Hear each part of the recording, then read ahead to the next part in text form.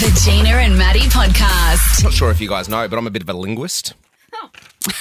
We haven't noticed news to me. actually. No, no, I stumble a bit, don't I? Mu- multilinguist. Uh, yes, that, that, that kind of linguist. Uh, and I, I, I enjoy all languages, but one language that I was not really au fait with or haven't experienced much of is the Swedish language. oh. And I got most of my education on the Swedish language from the Swedish chef from the Muppets.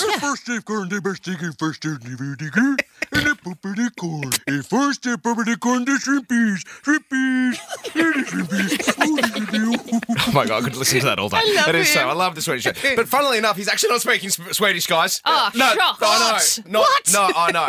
Uh, these guys are the other only real Swedish influence that I know.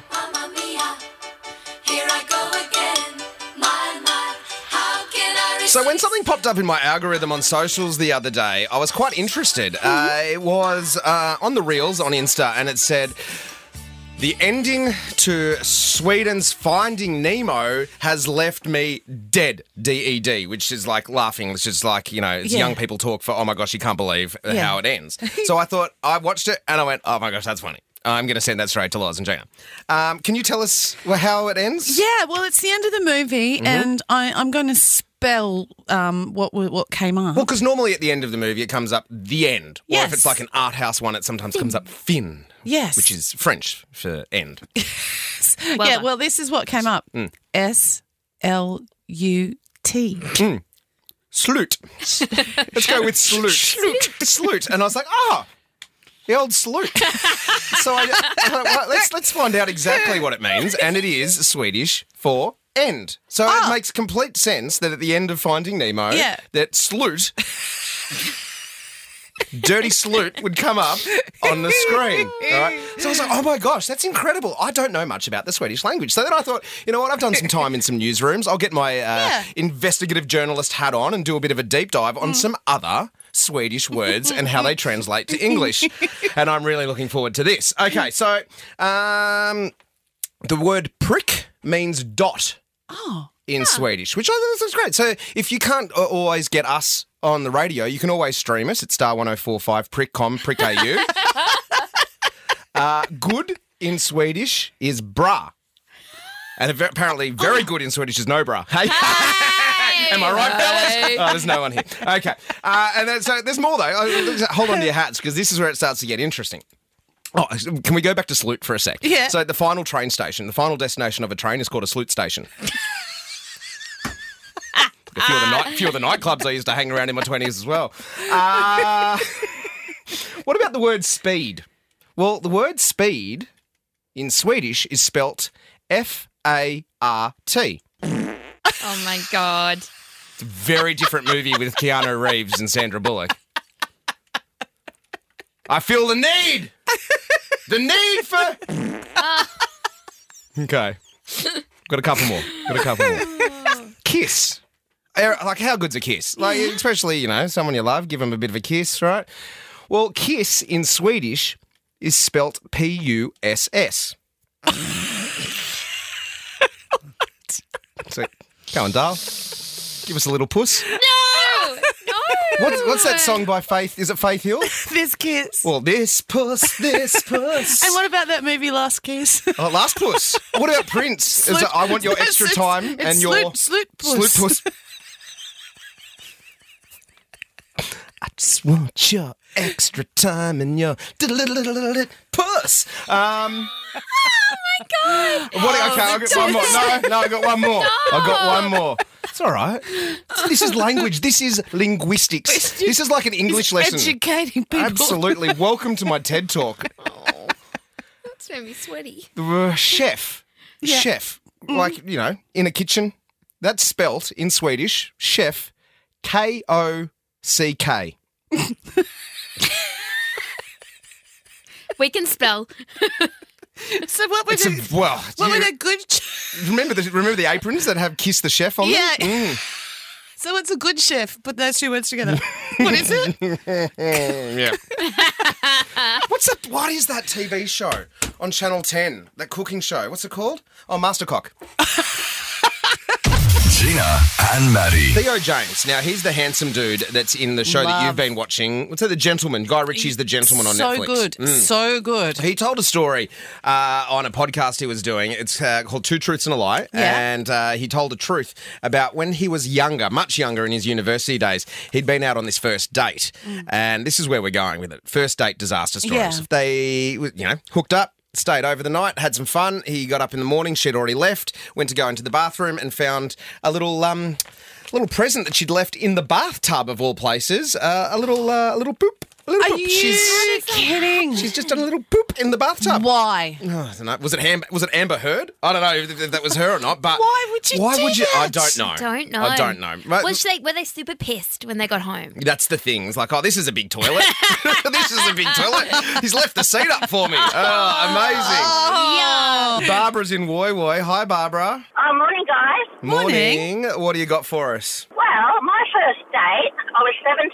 I was an apprentice hairdresser. We went to, I got invited to go see a movie at the drive-in back in the day. Drive-ins were all the rage. Love that. We went to the drive-in and he parked on the outside of the fence up on a little bit of a hill. and I said, what are we doing? Aren't we going in? And he said, no, if we be real quiet, we could hear the movie from here and then we don't have to pay for it. I said, oh, right.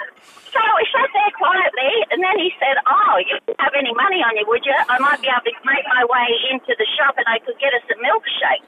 So No. I said, "Oh, okay." So I gave him the money, and he came back with one and he drank the whole lot himself. I didn't, I, I didn't get offered a sip of it. And, and how long have you been married for, Barbara? I'm not married anymore.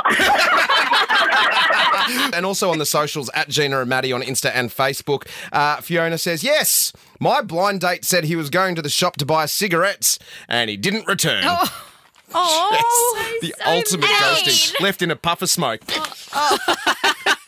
Uh, I I've had a I've had a few shockers. Um, Shocking. Because you, It's try, you me. try Yeah. really hard though. I'm a tryhard. Yeah, Yeah. but this this this this wasn't uh, this wasn't me. I remember going and see with a girl first time on the date, uh, EDtv, which is a movie that had Matthew McConaughey, uh, Ellen DeGeneres, I think Jenna Elfman, who was in like Dharma and I Greg. Do you remember her, Dharma and Greg? yeah. I used to love that show. Uh, so we're going to see that, and uh, I was I was a little nervous, right? You go on the first date, and, and throughout the entire movie, all she tried to do was put her finger in my belly button. What?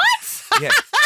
That's funny. It's so weird. Does she think? Does she think that's a funny thing to do? I, no, it was. I don't know if it was funny or if it was a little bit suggestive, or I don't know. But uh, I don't like putting my own No, finger in my I belly don't button. like belly and, buttons. and that area is like it's a little soft in the middle. You know, a Maybe little she was bit- getting a bit mixed up with what section was what section. I, I've never heard of anyone slipping a pinky into a belly button. That is disgusting. I, I don't like and she just constantly, and I was just like, ah, ha, ha, pushing the hand, push the, and she just kept going back and just fingering the belly button. I was like, what are you? and so that was the last time I ever saw Tammy. And for starters, her name was really rubbed on me a little bit too. Anyway, apologies to all the Tammys out there. Uh, on socials, on Insta, you've got one, Loz. Yeah, from Oh. Kat. So she said, Yep, I went on a date to the movies, looked over to my date, only to see him spitting in his hand rolled up pieces of napkin. I was shocked and asked him, What are you doing? as he started to put them in his ears. He replied, The sound is too loud for me in the movies. I didn't know if I should run them, but sat there next to him for the whole movie. I think I looked at his ears more than the movie. he kept on trying to hold my hand, and I wouldn't let him because all I could think about was him spitting in his hand. And as soon as the movie finished, I ran and got my sister to pick me up as he took, as he's the one who took me there. To make it Oh. even worse, I worked with him. oh Man, if you know a movie's going to be loud, just wear some earplugs Oh, or don't something. go don't the go. movies. Spitting tissue. Oh my god. Gina and Matty. We're going to play a little game here. Uh, we did it last week, and I must have researched well because Mm. it's back. Uh, Sirioki. Uh, this is where I ask Siri to um, just read out some song lyrics. I love this. I love so this fun. game. I think uh, it came down to a tiebreaker last week between the two of you, and I think Loz picked it up because the last uh, last one was worth like four thousand points, Yeah. and you won on that one. So, By landslide, some would say. uh, yeah, very simple. These are all very big songs. Mm-hmm. Uh, some are uh, more in your wheelhouse than they are the Princess from Batonga, and the Mm-hmm. vice versa. So, uh, I'm just going to get Siri to fire up her vocal cords. and do we have to say um, I- our name as a buzzer? Because that always gets me. Yeah, T's and T's apply. Yes. So buzz in with your name. Okay. Uh, you can play along in the car as well. Uh, look, Buzz in with I- your name in the car Yeah, as well. yeah, yeah. Play, play with the person you're sitting in the car with, and then.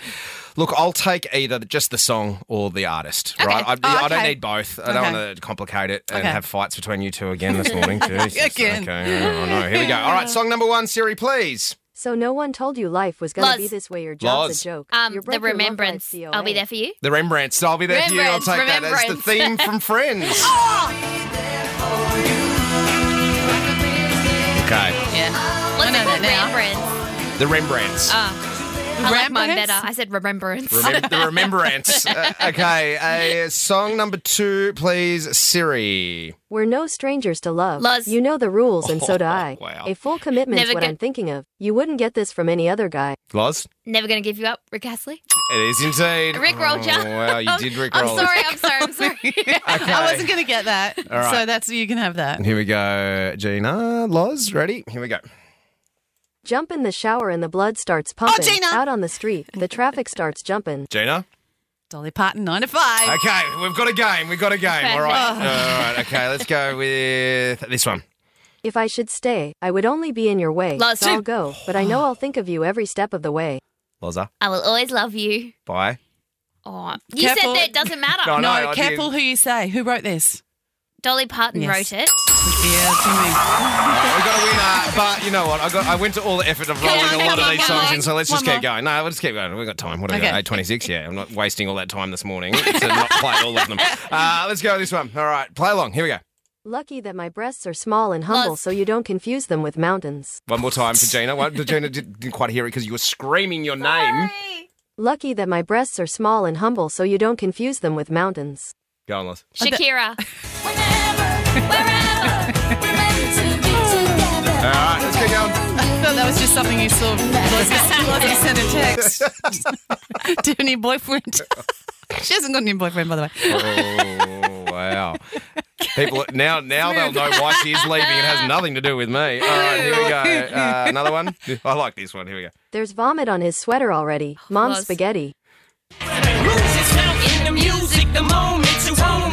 Eminem. Okay. Uh, what about this one? What about Sorry. bloody microphone off? I know. Just turn it off. Yeah. Okay. Here we go. Do you ever feel like a plastic bag? Gina, Yeah. Katy Perry.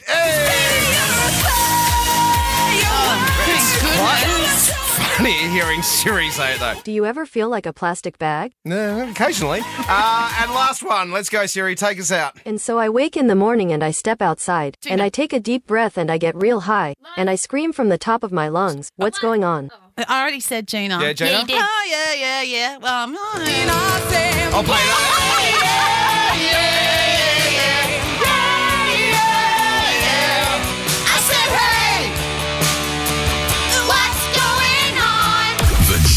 Matty Podcast. For more great comedy shows like this, head to novapodcast.com.au.